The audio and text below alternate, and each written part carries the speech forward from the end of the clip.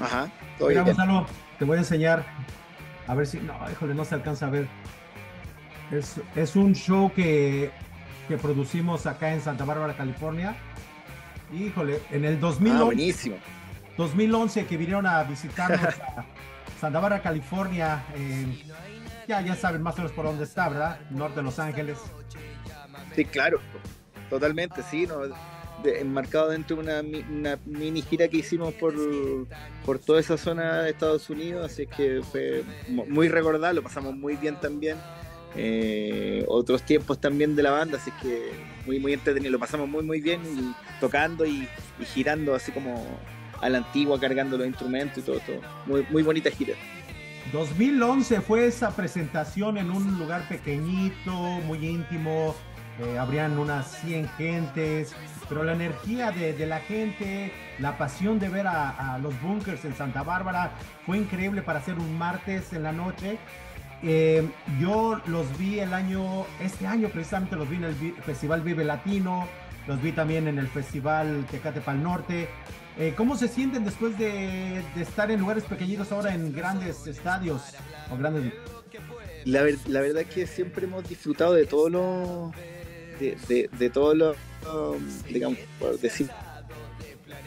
la redundancia de los escenarios, la- la- la- los formatos que se, que se prestan para presentar la música, siempre nos han gustado de todo, de todo tipo. Eh, eh, sin embargo, obviamente tiene una connotación especial todo lo que se ha generado con respecto a, lo- a los estadios, los que ya hicimos en, en marzo de, este año y, ahora enmarcado en, en los próximos que son en el Estadio Nacional, que como era también un anhelo para nosotros eh, presentarnos en, en el, en, el- en la arena más importante de, Chile, digamos, y eso nos tiene súper contentos, con una motivación extra, lógicamente. Pero, pero sí, como te digo, también disfrutamos de, de todas las giras como más, más batalladas, por decirlo de una manera, esto, como que todo, todo va, todo suma finalmente, y, lo, y, son todos disfrutables también, así que, pero bueno, ahora enmarcados también dentro de, de esto que es como el cierre del, del- de la gira ven aquí, esto todo estadio nacional que vamos, que vamos a hacer el próximo año. Sí, sí, estaba mirando que en el próximo año estarán allá en, en Chile haciendo estos, estos estadios. Pero viene un festival muy bueno que yo en lo particular a mí me encanta, el Tecate Península en Tijuana, que estarán Así es. presentes el 7 de octubre. Eh, ¿Han tocado en Tijuana anteriormente? En Tijuana sí hemos hecho una fecha anteriormente, no recuerdo exactamente dónde, pero sí ya hemos visitado Tijuana y es una- un lugar que nos encanta ir.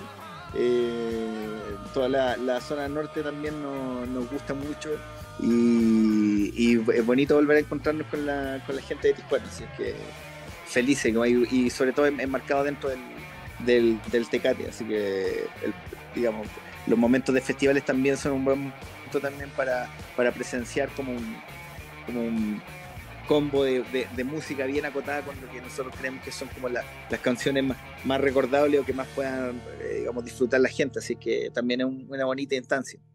Sí, Tijuana, un lugar muy, muy padre para la música, la cercanía con los Estados Unidos, este, la gente, ¿no? La gente muy cálida, buena comida. eh, aprovechan, Exactamente. aprovechan esa estancia en Tijuana para hacer alguna otra visita, vienen, vienen a Estados Unidos. eh, ¿Qué hacen en esos días que están por allá? En, en Tijuana, bueno, la, la verdad que vamos exclusivamente a lo del festival. eh, obviamente siempre dentro de lo, dentro del marco de lo, de lo posible. Tratamos de conocer lugares o de probar eh, Rosarito, ¿no? Rosarito, ¿Cómo? Rosarito o Valle de Guadalupe, que es increíble para el vino. Ah, buenísimo. Sí, la Valle de Guadalupe, eh, un- el, el Valle de Guadalupe, eh, eh, sea en uno de los de la zona exclusiva acá de- o sea, del mejor vino, así que también vamos a aprovechar de, de saborear ahí algunos vinitos buenos. Así que sí, totalmente. Así que sí, tratamos de disfrutar de eso y de la, de la comida y de la local. Eso también nos, nos gusta mucho. Es parte de la cultura también de cada, de cada ciudad. Oye, Gonzalo, ¿dónde estás ahorita? ¿Dónde te encuentras? En Ciudad de México. Ah, sí, pues ahí tienen casi ya residencia, ¿no? En Ciudad de México. Así estuvimos, estuvimos haciendo una gira por, por España, una mini gira. Estuvimos una semana con cuatro shows seguidos en, Valencia, en Madrid, en Barcelona y en Zaragoza.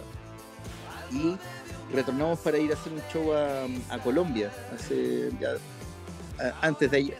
Así que estuvo muy bonito eso también. Eh, un bonito reencuentro con la gente de Colombia. Eh, hace mucho que no, que no los visitamos también por razones obvias. Eh, y nada, bonito, así que ya de regreso a la, claro, como dices tú, al, segundo hogar acá en, Ciudad de México. Los Bunkers, agrupación que tiene ya siete discos de estudio, ¿Qué viene para los bunkers en los próximos meses? No sé, traen temas nuevos. ¿Qué, ¿Qué, viene para los bunkers?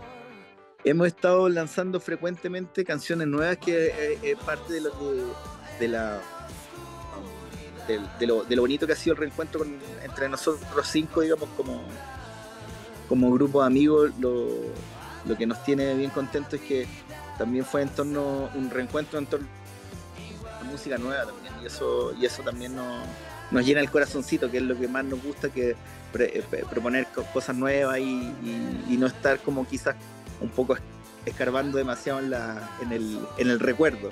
Si bien a todos nos, ha encantado toda esta, toda esta experiencia de, retomar la, la, digamos, la ruta y el trabajo como banda y como grupo de amigos, eh, más feliz aún al, hacerlo con canciones nuevas. Así que hemos estado ahora lanzando, ya llevamos cuatro sencillos y, y en un par de meses más vamos a estar, un mes más, o uno, uno o dos meses más, estaremos lanzando una, nueva cancioncita. Así es que eso también nos tiene muy, muy contentos. Veo que también estarán eh, presentándose por allá en, Monterrey, ¿no? En mes de noviembre. Así es, tenemos fecha en Monterrey, en Puebla, bueno, nuestra fecha anhelada en Tijuana. Eh, así que estamos muy, muy ansiosos de, todo lo que se viene para adelante. Ya está Chilpan, no, Chilpan creo que sí también. Eh, no recuerdo todas, todas las fechas ahora, pero sí se viene una, un fin de semana tras otro de, de fechas a lo largo de la, República. Así estamos muy contentos también por rematar este año con, muchos shows acá en, México. ¿Qué hacen entre, entre el espacio de, concierto y festival y festival? ¿Se relajan, trabajan en música, leen? ¿Qué, haces, Gonzalo? De todo, todo. Eh, todos somos fanáticos de, la, de las series, de las películas, de escuchar música. Eh, algunos aprovechan de salir a recorrer ciertos lugares que, no conoce, a conocer más la ciudad, la ciudad de México y sus alrededores.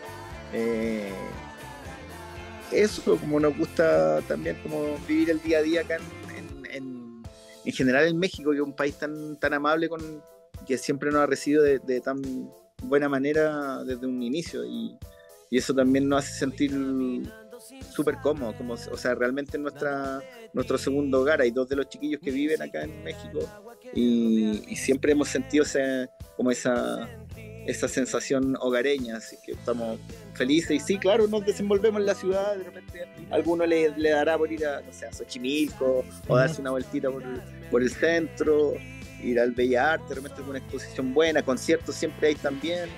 Eh, sí, siempre hay, siempre hay algo que hacer acá. Es una ciudad muy divertida, ¿no? La Ciudad de México, este, a mí me encanta, yo soy de la Ciudad de México y me encanta cada que voy, me paseo y, y este, y si se paran, la, yo me imagino que te paran en la calle y te dicen, oye, un, Gonzalo, un autógrafo, una fotito. no, no están así. Eh, lo importante es que las canciones han hecho su trabajo y eso es lo que y eso es lo que nos ha lo que ha impresionado de esto de toda esta como retomar la, la ruta que las canciones han seguido creciendo y, y la gente se ha efectivamente apropiado de la de como el repertorio de la banda y eso y no solo en las generaciones que, que van como de la mano de, de nuestra edad sino que también las nuevas generaciones se han ido sumando a la a este nuevo, digamos, este, digamos, reconectarnos con, la música y entre nosotros. Y eso también nos tiene súper contentos, que, que las canciones han hecho y a la hora de, quizás se suben tres personas y no saben quiénes son, pero a la hora de tocar las canciones sí hay una, una demostración de cariño y de, y de apropiación de la, de la identidad de la banda y, y eso nos parece increíble que, que haya sucedido desde que dejamos de tocar hasta ahora. Sí, oye Gonzalo, ahora para el Festival Tecate de Península, eh, su set van a incluir temas nuevos, eh, temas de los, digamos, los legendarios de la banda, o, cómo va a estar su set? Eh, va, a ser como, adelantado un poquitito, basado en lo, que creemos que es lo, que más pueda disfrutar la gente en, Tijuana. vamos a ver si sumamos también una de las canciones que hemos estado lanzando en, en, esto, en este tiempo, en, este, en estos meses que ya llevamos de trabajo. Eh, pero básicamente eh, enfocado en generar en, darle a la gente un, combo de rock and roll, digamos, de principio a fin y, eso, y van a, van a escuchar, digamos, las canciones más, reconocibles, más conocidas de, la banda, así que yo creo que por ahí va a ir el twist. Gonzalo, eh, muchísimas gracias por tus palabras, por este espacio hacia rockeros.net y a KCSB Radio Santa Bárbara, California. Este, pues no queda decirte más que nos vemos el 7 de octubre en Tijuana, en el Tecate Península, donde va a estar eh, plagado de grandes, grandes agrupaciones, incluyendo los Bunkers. Buenísimo, sí. Bueno, muchas gracias por el espacio a ti, Ángela, de la radio.